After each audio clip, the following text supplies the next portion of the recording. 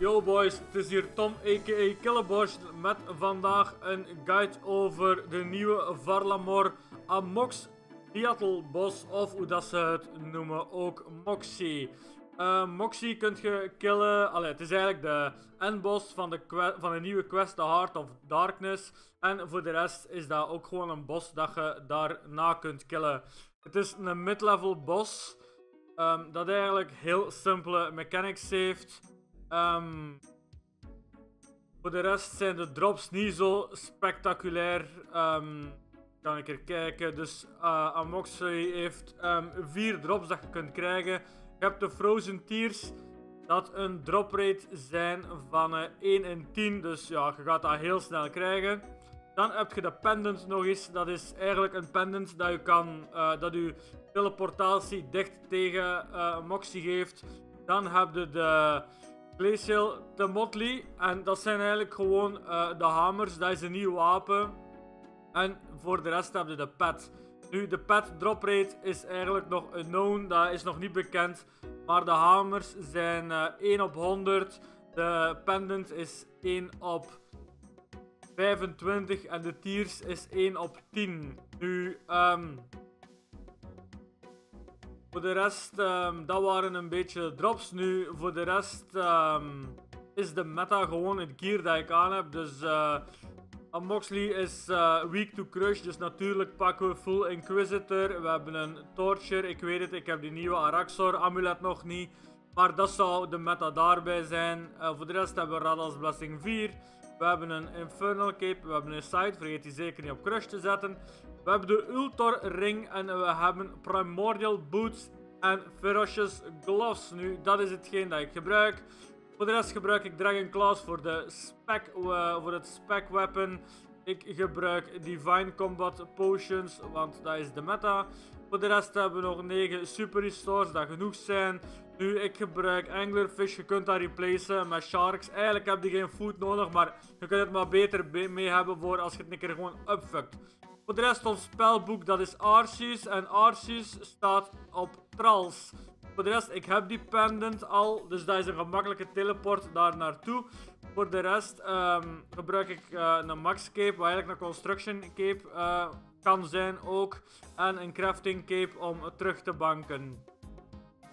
Nu, hoe dat je daar eigenlijk uh, raakt, als je nog geen pendant hebt, wat je vrij snel zou kunnen krijgen, is je gaat naar, de, naar die George, uh, en dan gaat je helemaal rond, helemaal rond naar hier. En dan gewoon naar die tower, je klimt naar beneden en dan zijt je er eigenlijk zo als. Maar als je dat, als je dat, al, uh, als je dat al hebt, dan pak je gewoon de pendant, je rupt daarop Twilight Temple en dat teleporteert je eigenlijk gewoon straight bij die dungeon. Dus dat is echt wel uh, heel gemakkelijk eigenlijk. Um, voor de rest uh, ga ik gewoon een keer een kill doen, zodat jullie zien dat het eigenlijk heel gemakkelijk is. Nu, uw spelboek um, moet eigenlijk staan op Mage en Piety. Dat is eigenlijk alles. Voor de rest gaan we hier gewoon naar beneden. En ik zeg het, hier is de deur al, die dat je wel uh, zult kennen van de quest.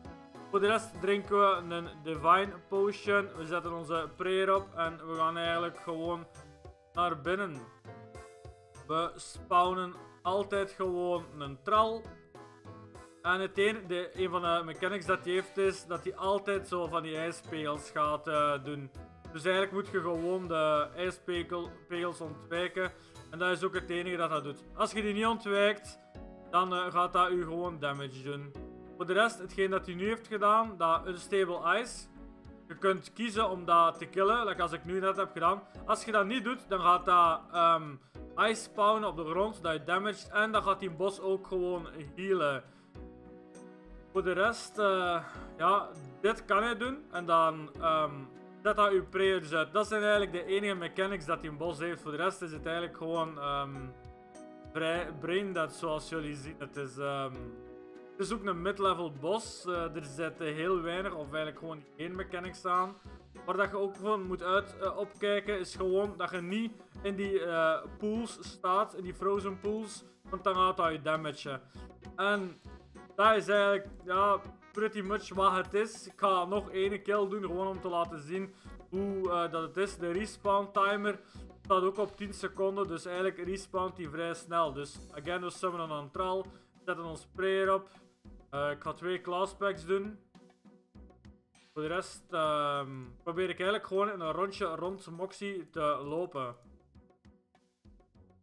En ik zeg het, ja, de meer is er eigenlijk gewoon niet aan. Het is, uh, het is een hele gemakkelijke bos.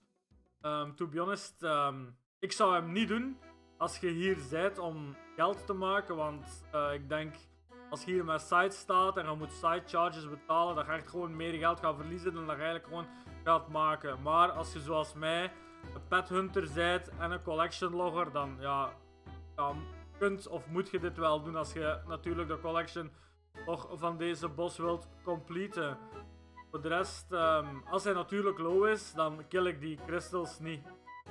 En um, ja, eigenlijk, me meer is er eigenlijk gewoon niet aan. Het is een, uh, een mid-level boss met eigenlijk heel slechte drops. Uh, als je geen pet hunter bent, raad ik u niet echt aan om dit te doen. Want ik denk dat je geld gaat wasten met je potions.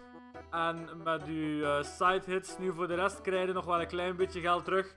Want uh, Moxie dropt ook Rune Mace, Rune Pickaxe, Rune Plate Body en Rune Plate Legs. Waar dat je misschien nog wel een heel klein beetje geld mee terugmaakt. Nu, voor de rest, dit was eigenlijk gewoon mijn guide. En ik hoop uh, jullie geholpen te hebben. Als het jullie heeft geholpen, vergeet zeker niet te subscriben op mijn YouTube kanaal. En om mij een follow te geven op mijn Twitch. De Twitch link gaat beneden in de description staan. En als er nog uh, comments of vragen zijn, zet die zeker uh, hier beneden. En ik zal altijd mijn best doen om die te beantwoorden. Nu, voor de rest uh, dank ik jullie om te kijken naar mijn guide. En ehm, hoop ik jullie een keer te zien in mijn livestream op Twitch. Of gewoon in de volgende YouTube guide. Merci om te kijken en tot de volgende mensen. Salut!